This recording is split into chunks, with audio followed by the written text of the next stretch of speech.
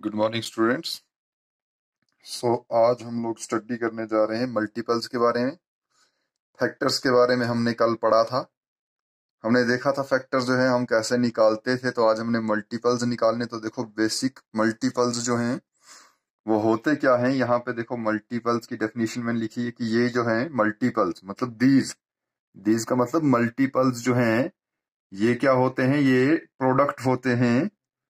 जब हम इनको किसी नंबर के साथ मल्टीप्लाई करते हैं ना मल्टीप्लाई करने के बाद मतलब एक नंबर को मल्टीप्लाई करने के बाद काउंटिंग नंबर के साथ मल्टीप्लाई करने से जो कुछ नई चीज़ हमारे पास मिलती है, एक टाइप का टेबल आप इसको बोल सकते हैं तो उसको हम कहते हैं मल्टीपल ठीक है?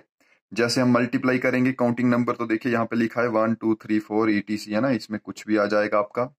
और यहाँ पे मैं आपके लिए एक एग्ज़ाम्पल ले रहा हूँ। एग्ज़ाम्पल में लिखता हूँ मैं कि राइट मल्टीपल्स ऑफ़ फोर मतलब आपको चार के मल्टीपल्स लिखने हैं। तो चार के मल्टीपल्स हम कैसे लिख सकते हैं जी? तो देखो सोल्यूशन मैंने अभी बताया आपको कि मल्टीपल्स जो हैं, वो होते क्या हैं? वो होते हैं जब आप किसी एक नंबर को, जैसे ये चार है ना तो चार के मल्टीपल लिखने तो इसको काउंटिंग नंबर के साथ मल्टीप्लाई करते जाओ तो जो जो आंसर आता जाएगा वो वो हमारे मल्टीपल्स रहेंगे। तो जैसे देखो, फोर को अगर हम लोग वन के साथ करेंगे तो फोर आएगा, फोर को हम टू के साथ करेंगे तो एट आएगा, फोर को अगर हम लोग थ्री के साथ करेंगे तो ट्वेल्व आएगा, फोर को अगर हम फोर के साथ करेंगे तो सिक्सटीन आएगा। तो देखो, हमने क्या किया इस फोर को, जिसके मल्टीपल्स निकालने होंगे ना, जो क्वेश्चन में आपका दिया होगा, कि इसके मल्टीपल्स निकालो तो उसको हमने किसके साथ, वन, टू, थ्री, फोर आगे चलते जाएँगे, जहाँ तक आपकी मर्ज़ी होगी, चलते जाएँगे। और इसको मल्टीप्लाई करने के बाद जो यहाँ पे आंसर जो आएगा ये रहता हमारा मल्टीपल्स मतलब इज़ इक्वल टू के अगली साइड में जो भी आपके आंसर आ रहे हैं वो होंगे मल्टीपल्स और इसको लिखोगे कैसे आप? आपने ऐसे नहीं लिखना है।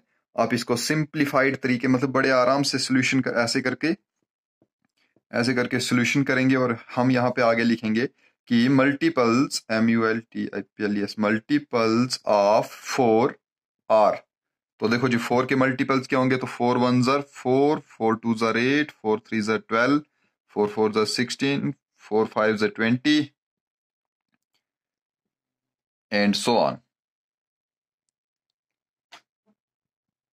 so on मतलब आगे आगे, ये चलता जाएगा, क्योंकि टेबल तो कभी खत्म नहीं ना होते।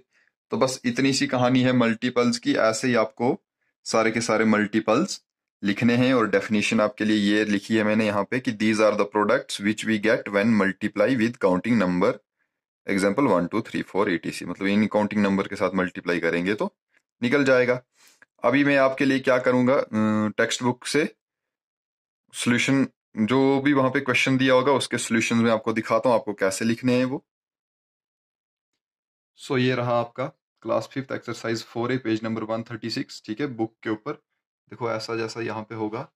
तो इस बुक से क्वेश्चन नंबर वन हम लोग कर रहे हैं कि write first five multiples of the following मतलब नीचे ये जो नंबर दिया गया है ना A B C D part करके, इनके आपको फाइव मल्टीपल्स लिखने अब देखो कितने मल्टीपल्स लिखने हैं? फाइव मतलब आपको टेबल लिखना है, लेकिन कहाँ तक का लिखना है? फाइव तक का लिखना है तो देखो मैं यहाँ पे आपको सोल्यूशन करके बताता हूँ इसका। तो ए पार्ट है तो देखो जी ए पार्ट का सोल्यूशन क्या आएगा? सेवन के मल्टीपल्स लिखने हैं ना तो इसको हम लिखेंगे मल्टीपल्स ऑफ़ सेवन आर तो देखो जी सेवन के मल्टीपल्स क्या होते हैं? सेवन मतलब यहाँ से टेबल पढ़ना आपको। सेवन वन जर सेवन सेवन टू जर फोर्टीन सेवन थ्री जर ट्वेंटी वन सेवन फोर जर ट्वेंटी एट और फाइव तक करने तो एंड लगाएँगे लास्ट के साथ और सेवन फाइव जर थर्टी फाइव और ये रहेगा आपका आंसर सिंपल है। अब देखिए बी पार्ट बी पार्ट में क्या लिखा है जी? बी पार्ट में लिखा है एटीन तो आपको एटीन के पाँच मल्टीपल्स लिखने तो सोल्यूशन में हम कैसे लिखेंगे इसको? हम लिखेंगे multiples multiple of eighteen sorry इधर पीछे फाइव लिख लेना। ठीक है, पहले पाँच लिख रहे हैं ना हम लोग तो यहाँ पे लिख लेना first five first five multiples first five multiples of eighteen are. तो क्या होंगे जी एटीन के मल्टीपल? पढ़ो जी एटीन का टेबल, एटीन वन जर, एटीन एटीन टू जर, थर्टी सिक्स, एटीन थ्री जर, फिफ्टी फोर, एटीन फोर जर, seventy two, and eighteen five जर नाइन्टी तो ये हो गया जी आपका फाइनल आंसर। ठीक है? वैसे यहाँ पे देखिए अब सी पार्ट है। सी पार्ट में क्या बोला है? सी पार्ट में बोला जी आप मल्टीपल्स लिखिए ट्वेंटी वन के। तो देखो, यहाँ पे भी सोल्यूशन में हम ऐसा लिखेंगे कि first five multiples first five multiples of twenty one are तो ट्वेंटी वन के पहले पाँच मल्टीपल्स क्या होंगे? पढ़िए जी टेबल ट्वेंटी वन वन जर twenty one twenty one two जर forty two twenty one three जर sixty three twenty one four जर eighty four and twenty one five जर वन हंड्रेड एंड फाइव ठीक है? तो अगर आपको टेबल जबानी नहीं आएगा तो आप साइड में टेबल लिखना तो आपको आता है ना? तो आप साइड में टेबल लिख के कर सकते हैं। अब देखिए डी वाला है ट्वेंटी थ्री तो ये मैं आपके लिए इसका सोल्यूशन जो है, मैं आपके लिए होमवर्क में छोड़ रहा हूँ। और उसके बाद ई e वाला है ट्वेंटी फाइव और इसका भी मैं आपको होमवर्क में दे रहा हूँ। ये अगर नहीं निकलेगा तो आप मेरे को कमेंट करके बताइएगा।